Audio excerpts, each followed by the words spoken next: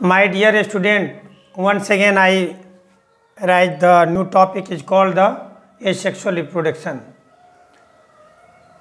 मेरे प्यारे छात्रों आज जो टॉपिक के साथ मैं आया हूँ वो टॉपिक है ए सेक्सुअल रिप्रोडक्शन और इसके प्रकार तो ये सेक्सुअल रिप्रोडक्शन को हिंदी में अलैंगिक अलैंगिक जनन कहते हैं ये सेक्सुअल रिप्रोडक्शन को क्या कहते हैं?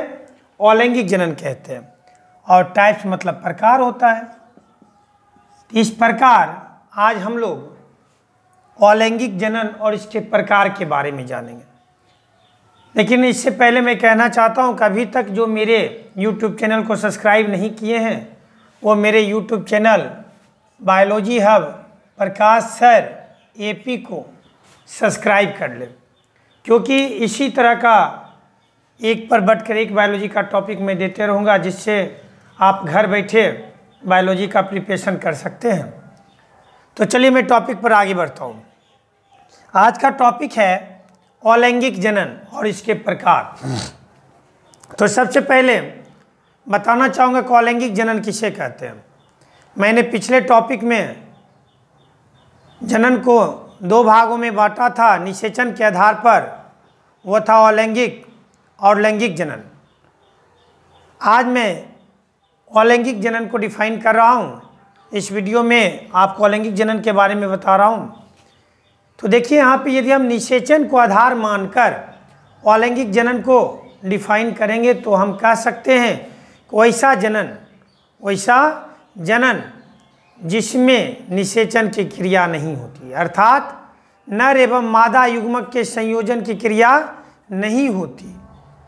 तो उसे क्या कहते हैं? अलैंगिक जनन कहते हैं।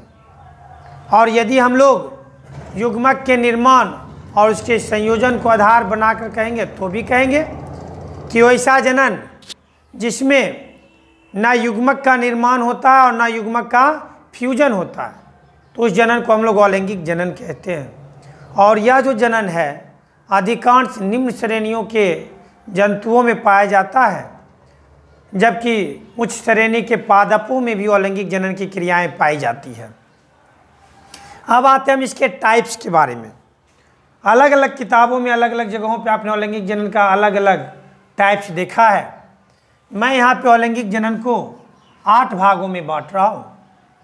जिसमें पहला जो है, यह पहला टॉपिक है फीजन और डिवीज़न फीजन का हिंदी होता है विखंडन. और डिवीज़न मतलब होता है विभाजन. देखिए, अभी तक आप लोग जो किताब देखते हो अब फिजन देता है और फिर बाइनरी फिजन देता है, दुई विभाजन करके देता है।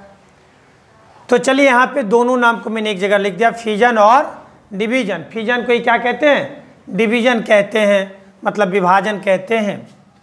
दूसरा जो है, वो है टोरुलेशन। दूसरा क्या है? टोरुलेशन।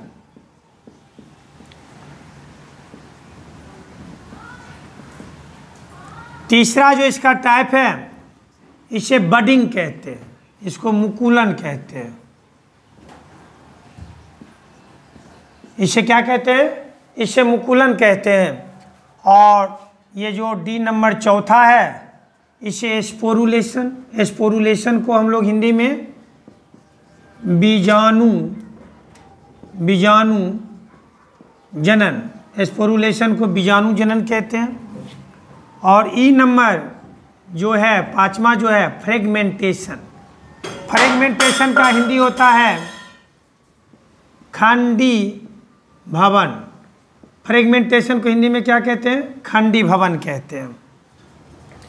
अब ये जो छठा है एफ़ नंबर इसे री री मतलब पुनः, और जनरेशन जनरेशन मतलब उत्पन्न होना, इसको क्या कहते हैं?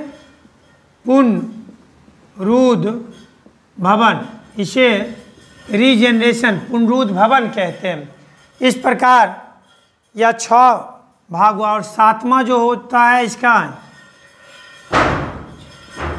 यह जो है इसे पार्थेनोजिनेसिस कहते हैं। पार्थेनोजिनेसिस मतलब अनिषेक जनन अनिषेक जनन। यह जो आप सातवां टॉपिक देख रहे हैं, इसे कहते हैं अनिषेक जनन कहते हैं। और ये जो आठवां है, इसे वेजिटेटिव रिप्रोडक्शन इसे वेजिटेटिव रिप्रोडक्शन या वेजिटेटिव प्रोपोगेशन कहते हैं। हिंदी में से वेजिटेटिव का तात्पर्य होता है कायिक और रिप्रोडक्शन मतलब जनन। और ये प्रोपोगेशन मतलब वेजिटेटिव कायिक और प्रोपोगेशन मतलब प्रवर्धन होता है। इस प्रकार से अलैंगिक जनन को आठ समूहों में बांटा जा सकता है। पहला फिजन या डिवीज़न हिंदी में विखंडन या विभाजन कहते हैं। दूसरा टोरुलेशन, तीसरा बडिंग, हिंदी में इसे मुकुलन कहते हैं। चौथा एस्पोरुलेशन, इसे हिंदी में बीजाणु जनन कहते हैं। पाँचवा फ्रेगमेंटेशन, इसे हिंदी में खंडी भवन कहते हैं। या इसको आप लोग खंडन भी कह सकते हो और खंडन कह सकते हो।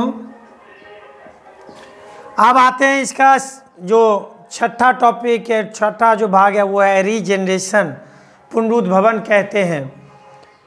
सातवां जो है, वो है पार्थिनोजिनेसिस, अर्थात अनिषेक जनन। और आठवां जो है वेजिटेटिव रिप्रोडक्शन अर्थात कायिक जनन।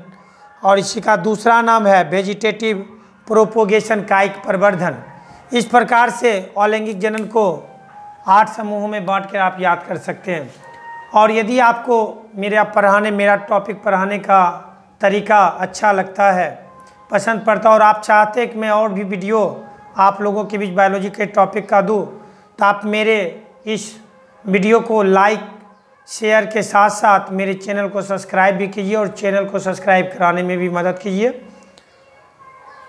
इसी के साथ फिर अगले वीडियो में मैं आप लोग के बीच रहूँगा, तब तक के लिए धन्यवाद।